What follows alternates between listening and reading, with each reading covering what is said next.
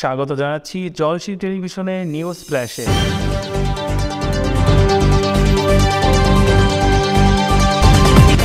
প্রেমিকাকে ভিডিও কলে রেখে শহীদ আব্দুর রব শ্রেণিয়াবাদ স্টেডিয়ামের নির্মিতব্য ড্রেসিং রুমে গলায় ফাঁস দিয়ে আত্মহত্যা করেছে এক ফুটবলার। শহীদ ক্লাবের অনূর্ধ্ব সতেরো দলের গোলরক্ষক ছিলেন।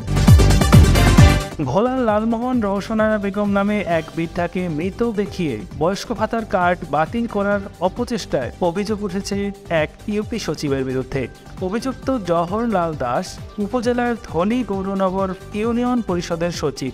লালমোহন উপজেলার সমাজসেবা কর্মকর্তা মোহাম্মদ মাসুদ বিষয়টি নিশ্চিত করেছেন।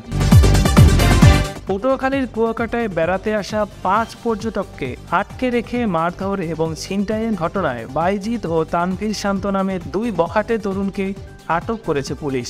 শনিবার বিকেলে কুয়াকাটার জিরো পয়েন্ট সংলগ্ন হোটেল কুটুমবাড়ির সামনে থেকে তাদেরকে আটক করে ট্যুরিস্ট পুলিশ। পরে থানা পুলিশের কাছে হস্তান্তর করা হয়। আটক বাইজির স্থানীয় লতাচাপনি ইউনিয়নের আসালুদ খাপাড়া আবু সালামের ছেলে এবং তানভীর কুয়াকাটার নবীনপুর এলাকার ফোরকান দফাদারের ছেলে।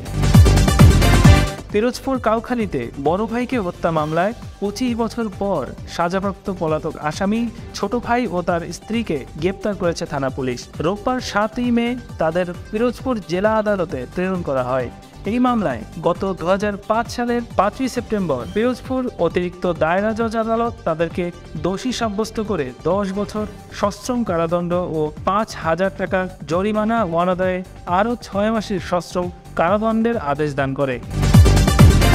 কীর্তনখোলা পায়রা সুগন্ধা বিষখালী নদীতে ইলিশের পোনা নির্বিচারে ধরা হচ্ছে বলে অভিযোগ পাওয়া গেছে। নিষিদ্ধ বাধা জাল গোপা জাল, বেগুন্দি জাল ও কারেন্ট জালের অবাধে ধরা পড়ছে ইলিশের পোনা। সরকারি নিষেধাজ্ঞা অমান্য করে জেলেরা প্রতিনিয়তই স্বীকার করছে হাজার হাজার জাটকা। ইলিশের এই পোনাকে এলাকার হাটবাজারে চপিনা মাছ বলে বিক্রি করা হচ্ছে। এই ছিল জেটিভি নিউজ ফ্ল্যাশে। সাথে থাকুন লগ ইন করুন জলসিনী টিভি ডট কম